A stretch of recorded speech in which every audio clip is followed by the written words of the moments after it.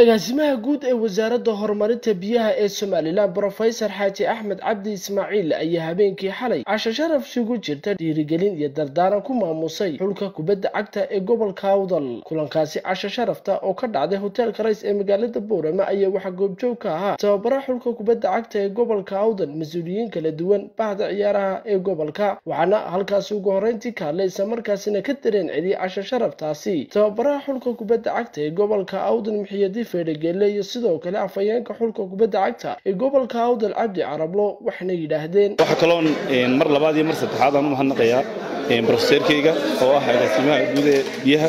Runaantii waxaan leeyahay waad mahadsan man laa yashkuru naas laa yashkurullah waan u mahadnaqayaa waxaan leeyahay casho sharafta aad maanta noo samaysay waxay noo hayd mid dhiirigelina waxay noo hayd mid maaragtayne isbarasho ah. Runaantii dhallinyaraduna way ku wada farxeen waxaanan ku kalsoonaa ogaa maadaama isagu yahay brofeseer ahna dhallinyar. Runaantii waxaan ogahay inuu dareenkayga fahamsan yahay oo uu fahamsan yahay dhallinyarnimada.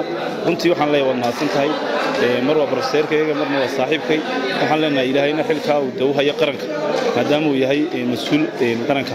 Ilaahay aan ku asturo annaguna waan ku garab taagannahay. Mar walbana waxa weeyaan waan ku taageersannahay. Waxaan rajaynayaa siyaasiyiinta la midka ee gobolka awdal ka soo jeedana inay maaragteen ay sidii saasoo kale ay noqdaan. Waxa keliya ee lagu ciyaaraa kubadda cagta marka cagta iyo waxa iyo maskaxda laga imaado waa mooraal weeyaan. Qofku hadduu mooraal waayo garoonka ma eego. Annaguna waxaan leenahay dee maanta waxaan nahay siddeed iyo labaatan qof. Siddeed iyo labaatanka iyagaa qofi. Dee haddii aan lacag nagu filan weyno waxaa laga yaabaa qayb inay jabtade qayb jabanna maanta meel u soconaysaa qaybtii kalima jirtade waxaa laga yaabaa wasaaraddaasina annaga noogu tala gashay labaatan qof siddeed iyo tobanka ciyaartooy ciyaaraya iyo labada nin ee wata. Inay noogu tala gashay labaatanka sideedda kalena ka maarmi weyno. Dee dadkiina kabeeyay yihiin. Intaa in maaragtay la galo oo gobolka la galo oo waxaan leenahay barasaabka oo waxaan leenahay maayarka oo waxaan leenahay xildhibaanada intuba inay dee soo eegaan dhalintii beritoole t v-ga marka la fadhiisto kursiga la hoos dhigto magaca qof walba u sheegan doonaa sidoo kale waxayna halkaasi ka hadlay isla markaasina hadalka iska daba qaatay. Mas'uuliyiintii kala duwaneed iyo uu ka soo qaybgalay casho sharaftan uu fidiyey agaasimaha guud ee wasaaradda horumarinta biyaha ee somalilan isla markaasina ku maamusay. Xulka kubadda cagta ee gobolka awdal ayaa waxay yidhaahdeen waa martiqaad dardaaran iyo duco. Inta ugu muhiimsan midda koowaad waa martiqaadka waan ka ajiibnay maadaama aan nimidnay oon soo ajiibnay martiqaadka inoo fidiyey agaasimaha guud. Midda labaad waa dardaaran dardaarankaasi waxa uu ka dhexeeyaa dhammaan idiga mas'uuliyadda nisaaran oo gaar ah iyo mid kale oo gobolka ah.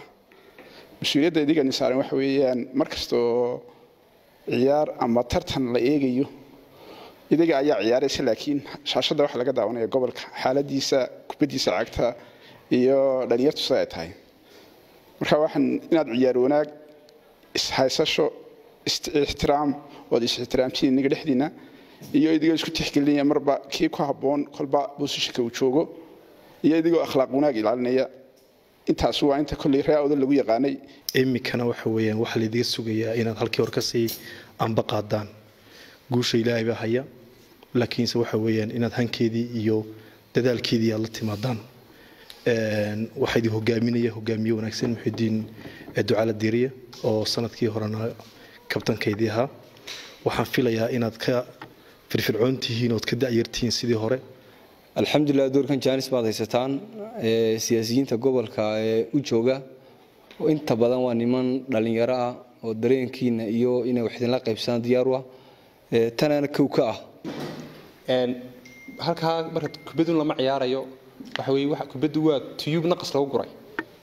Tuyuubkanun lama eryanayay waxaad gudbinaysaan sawir gobolka awdale aqoonta iyo ilbaxnimada iyo xadaaradda iyo edabtu yaallaan ayaad gudbinaysaan. Marka waxa weeye kubadduna waa ixtiraam iyo isdhexgal iyo qorshaha laga leeyahay kubadduba waxa weeye in ninka boora ma joogay markuu ceergaabo tago uuna qalloon una hotel raadsan una arbey ka raadsan saaxiibkiisii kubadda wada ciyaarayeen waa haddii wanaag ka dhexeeyo. Uu dee martiyo waxaan keliyaan idin farayaa in aad gudbisaan sawir qurux badan oo gobolka awdal. Agaasimaha guud ee wasaaradda horumarinta biyaha ee somalilan brofesor xaaji axmed cabdi ismaaciil oo halkaasi ugu dambeyntii ka hadlay ayaa yidhi ani cashada waxay ka ahayd un isbarashada inayd maamusno inaad garab taagna magacii gobolka inaad wadaan ma garanaysaa hawshaana. Waxa weeye dadkeedii inaad tiina ka soo baxaysaana taa inaan idiin muujino baad gebigeedaba markaa waad karamaysantihiin waanad mahadsantihiin waxa ugu weyn iibin waxa weeye haddaad badisay haddii aydan badinin gobolka awdal quruxii sharaf baa lagu yaqaanay magaca ilaaliya keena ilaaliya ka qaranka ilaaliya waxa weeye beriyaa dan weyne ku xigta weyn weyn leenahay. Waxaa koo mahadnaqa ku darayaa waxa weeye wasaaradda dhalinyarada iyo garanaysa iyo ciyaaraha oo waxa weeye sanadkan iyada qorshaysay in ay tani dhacdo. Sidoo kale madaxweynaha qaranka somalilan oo culays badan runtii ka saarnaa covid. Iyo magaranaysa waddankooda doorasho gelaya oo waxa weeye dhaqaalihii iyo miisaaniyadda laga yaaba in culays badan ku soo dhaco.